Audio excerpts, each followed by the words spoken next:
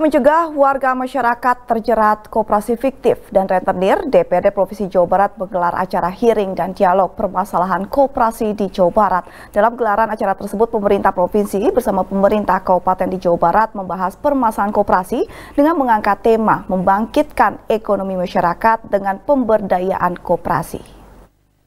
Terima kasih.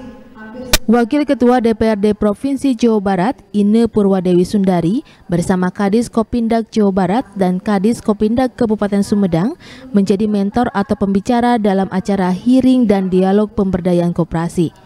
Selain pemaparan tentang pemberdayaan koperasi, juga memberikan kesempatan kepada masyarakat melakukan tanya jawab tentang pemberdayaan koperasi manfaatnya mungkin ini menjadikan satu edukasi buat masyarakat agar masyarakat sadar bahwa jangan sampai bisa pinjam itu untuk ke rekening.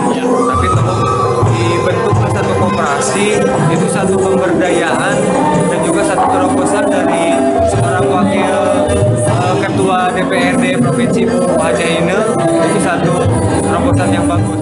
Dan saya harap lebih banyak lagi dilakukan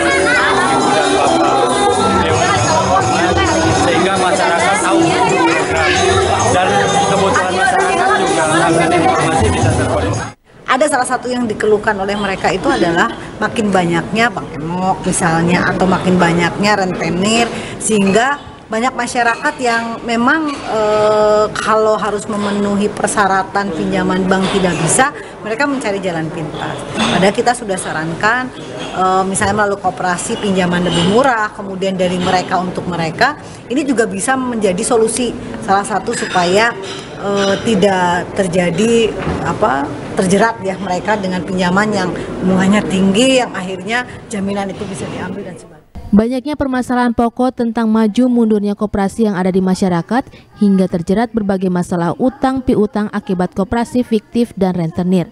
Warga masyarakat meminta kepada pemerintah daerah maupun provinsi agar dapat memberikan solusi dan bisa mencegah serta mengawasi badan koperasi yang fiktif. Sehingga pemberdayaan koperasi yang ada di masyarakat sesuai dan sejalan dengan baik. Diki Guntara, Bandung TV